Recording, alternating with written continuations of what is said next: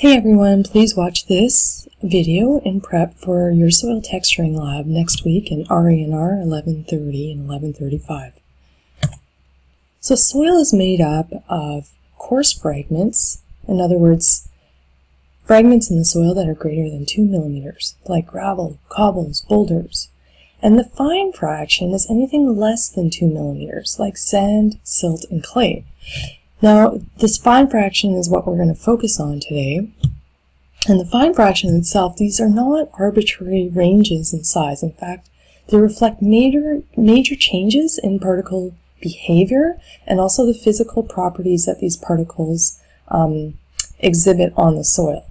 In other words, the soil behaves very differently if it's primarily sand or if it's primarily silt or a combination of all three of these um, particle sizes. So let's dig into that a little bit further. So this fine fraction, notice how the sand is by far the largest particle. The silt is quite a bit smaller. And these, again, these keep note of these ranges and sizes. And anything less than 0.002 millimeters is clay. So this fine little dot.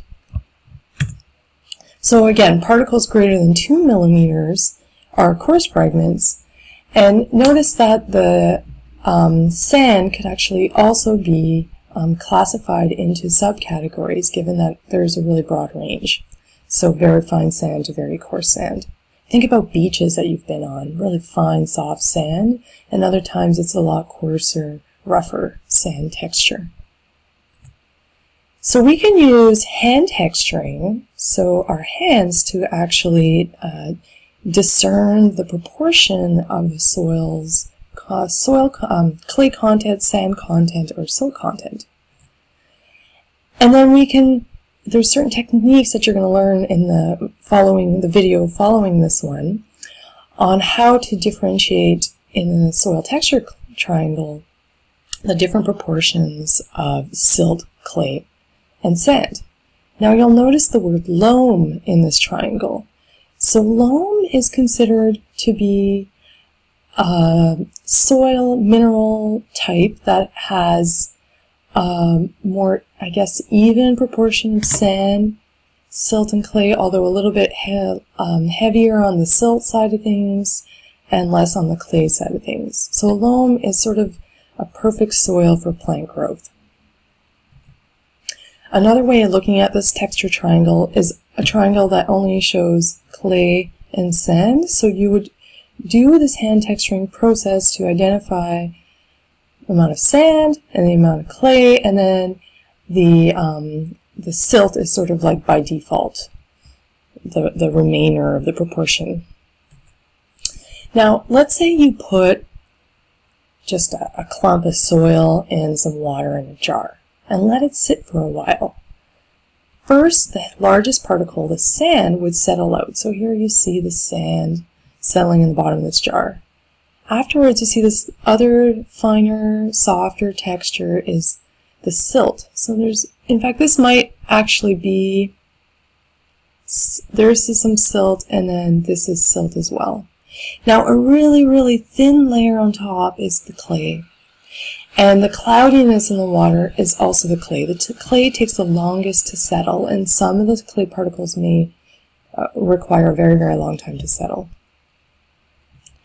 So this jar testing is sort of just a, a qualitative way of looking at soil texture.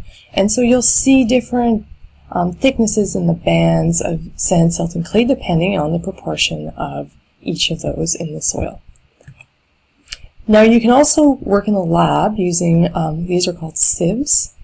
And the sieves are like a mesh with the different size classes and you can wash through each size sieve from larger to smaller to separate the sand, the silt, and the clay. So just to summarize and, and maybe touch on why this is important.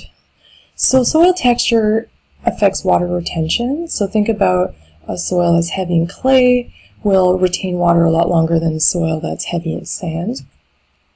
And the opposite matter, the reciprocal of that is soil aeration. So how much air can the soil contain or how often does the soil have a lot of air in it will depend on soil texture, which is important for root respiration in plants. Soil fertility is greatly affected, so the amount of nutrients in the soil, and we'll get into that more in coming weeks. The susceptibility of the soil to erosion, again, we'll discuss that a little bit more in coming weeks. Organic matter decomposition, and also the operability or your ability to use machinery on the soil is greatly affected by soil texture. Uh, clay heavy soils are much more predisposed to um, uh, compaction than a sandier soil. So that's it for right now. I hope that you found this useful and uh, please watch the next video which I did not create on uh, soil hand, hand texturing.